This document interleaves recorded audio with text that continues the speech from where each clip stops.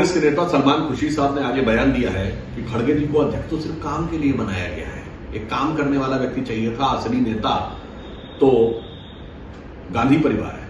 इससे बहुत साफ़ हो गया कि कांग्रेस की नज़र में खड़गे जी सिर्फ़ एक मुखौटा है, मुख नहीं है। इससे यह भी साफ़ हो गया कि कांग्रेस एक चेहरे के ऊपर दूसरा चेहरा लगा के, मास्क लगा के लोगों को धोखा देने का प्रयास करती है। इससे यह भी साफ़ हो गया कि चाहे डॉक्टर मनमोहन सिंह को प्रधानमंत्री बनाना हो या मल्लिकार्जुन खड़गे जी को अध्यक्ष बनाना हो यह गांधी परिवार उन्हें प्रधानमंत्री या अध्यक्ष नहीं बनाता है, सिर्फ़ बनाता है।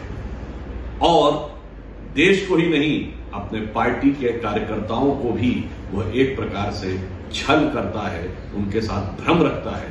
कांग्रेस के वरिष्ठ नेता का बयान इसका